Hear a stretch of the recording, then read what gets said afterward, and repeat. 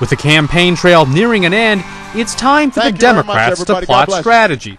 Senator Hillary Clinton says she is not leaving the race, I'm asking you to stay with me until we continue to fight to this nomination. so the speeches and stumping goes on.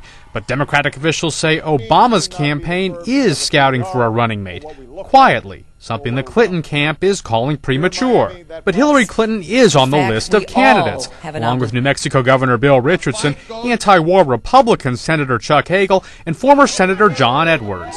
California Senator Dianne Feinstein wants an Obama-Clinton pairing, saying it's the strongest ticket, with each candidate snaring a different constituency and different states. This analyst with Democratic ties says both camps are in an awkward spot. Uh, I think we're stuck at the stage right now of Senator Obama trying to determine whether he's going to offer it and whether he's interested in actually having her as vice president. and And I think that there's really good uh, reason for there to be consideration for that option, given that uh, it's practically a 50-50 tie in the party right now. He says there is some precedent for this. John Kennedy offered the job to Lyndon Johnson, but it really comes down to personality and fit.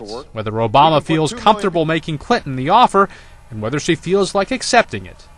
Lee Powell, The Associated Press.